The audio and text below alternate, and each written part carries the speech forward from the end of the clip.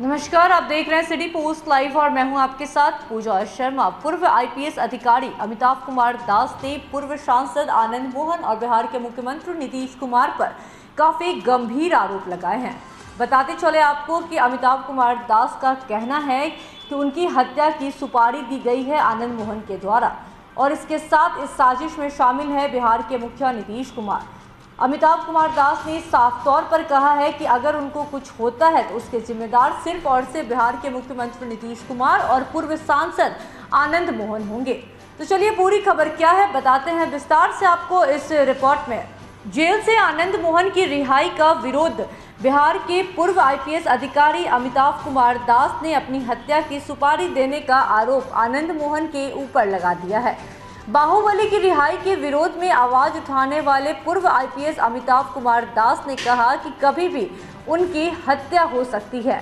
बाहुबली ने अपने गुर्गों को ऑर्डर दिया है कि अमिताभ कुमार दास जी को भी जी कृष्णैया के पास पहुँचा दो।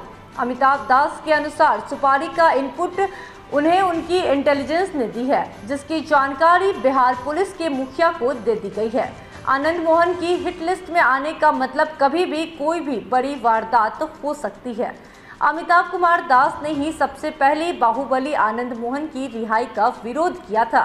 पटना हाईकोर्ट में खुद जनहित याचिका दायर की और गोपालगंज के पूर्व डीएम जी कृष्णैया की पत्नी को भी रिहाई के विरोध में आगे लाया। पूर्व आईपीएस ने ही जी कृष्णैया की पत्नी को सुप्रीम कोर्ट में रिहाई का विरोध करने के लिए तैयार कराया है। अमिताभ दास का कहना है कि बाहुबली की रिहाई के विरोध में पहली आवाज़ उन्होंने ही उठाई थी और इस कारण से उनकी जान पर खतरा बढ़ गया है।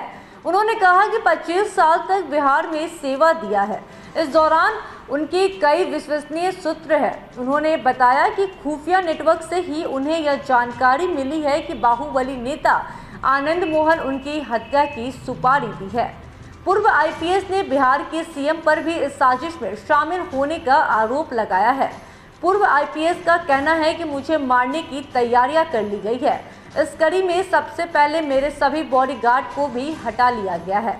सर्विस में नहीं होने के बाद भी मेरे ऊपर जान का खतरा था, इसलिए बॉडीगार्ड दिए गए थे, लेकिन सिक्योरिटी हटाकर अब खतरा बढ़ा दिया गया है। अमिताभ दास ने बताया कि बिहार के डीजीपी को लिखित शिकायत देकर हत्या की पूरी साजिश की जानकारी दे दी गई है।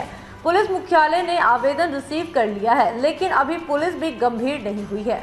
आवेदन में लिखा है कि अगर मेरे साथ कोई घटना होती है तो आनंद मोहन और बिहार सरकार के मुखिया जिम्मेदार होंगे। पूर्व आईपीएस का कहना है कि आनंद मोहन का मामला उठाने से पहले भी दो पुलिस पदाधिकारी मेरे पास आ चुके हैं। स्पेशल ब्रांच से भी एक पदाधिकारी आया था। पाटलिपुत्र थाना से भी पदाधिकारी ने भी जाँच की। पुलिस पदाधिकारियों की जाँच में मेरी जान पर खतरा का खुलासा हुआ।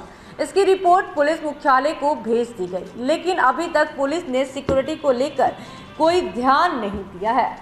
पूर्व आईपीएस अमिताभ कुमार दास ने इतने गंभीर आरोप लगाए हैं बिहार के मुखिया नीतीश कुमार पर और बाहुबली नेता आनंद मोहन पर। खैर, ये तो जाँच का विषय है। अब देखना होगा कि क्या कुछ निकल कर आता है। जो मांग कर रहे हैं पूर्व आईपीएस अधिकारी सिक्योरिटी की, वो उन्हें मिलती है या नहीं, ये देखना काफ़ी दिलचस्प होगा। फ़िलहाल के इस खबर में बस इतना ही। तमाम छोटी बड़ी जानकारी के लिए बने रहे सिटी पोस्ट लाइव के साथ। इस वीडियो को लाइक करें, शेयर करें और चैनल को सब्सक्राइब करना ना भूलें। धन्यवाद।